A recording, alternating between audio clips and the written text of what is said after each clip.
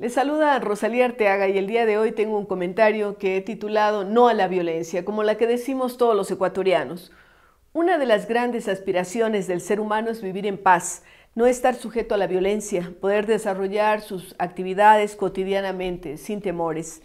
Las migraciones en buena parte, además de las ocasionadas por los fenómenos naturales que han movilizado a grandes masas humanas para buscar seguridad, frente a los desbordamientos de los ríos, las sequías, las erupciones, los terremotos y en estos días frente a esos mismos descalabros motivados o aguzados por los cambios climáticos,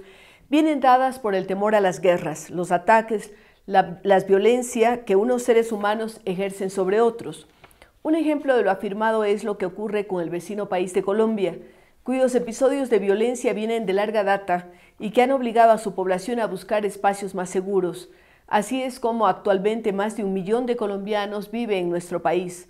Los habitantes de buena parte de América Central buscan desplazarse a otros territorios por la violencia imperante en los propios. Si a esto se suma la hambruna por la falta de alimentos y la erosión de sus tierras, el tema se vuelve catastrófico. Si vemos lo que ocurre en los actuales momentos con la guerra de Ucrania o la situación de Siria, millones de sus ciudadanos se han desplazado para huir de los horrores de la guerra. El sufrimiento de las familias es indescriptible frente a la muerte de sus miembros, por lo que recurren a la salida de sus hogares como una solución extrema frente a lo que ocurre.